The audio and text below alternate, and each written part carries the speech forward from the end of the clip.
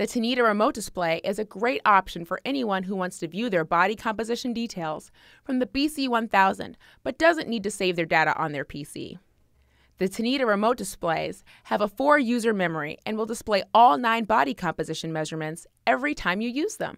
You simply press User, choose your user profile number using the arrow keys, and press Set.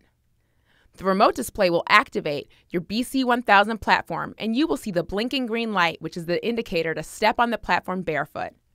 When the light turns solid green, the BC1000 is sending your data back to the remote display for viewing. They're simply designed for a quick and easy reading from your BC1000.